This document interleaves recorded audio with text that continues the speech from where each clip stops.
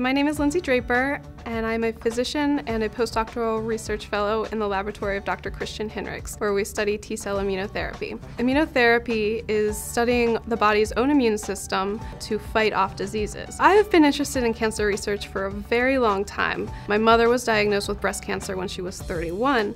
I was very young at the time. I don't remember too much about it, but I remember that it was awful. Moving forward to high school, I was encouraged by one of my biology teachers to pursue an internship at the National Cancer Institute.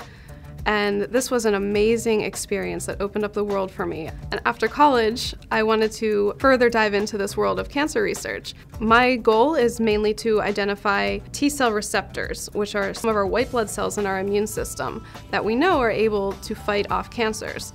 Every person has a unique set of T cell receptors that can recognize viral proteins, cancer cells, among other things. So the initial round of experiments would be to identify a group of white blood cells that are recognizing and killing tumor cells in a petri dish. And from there, I can better characterize that.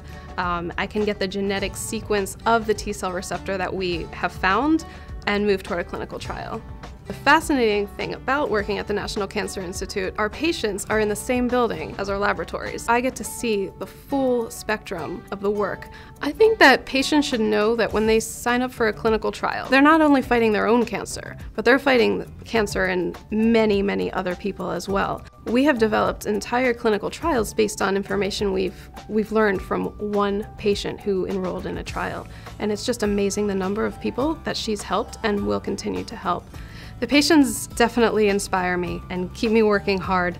They come with their families from across the country, brave, full of hope, ready for these trials, and their dedication both to to fighting their personal fight and also contributing to our understanding of their disease process so that we can help others is, is just incredible.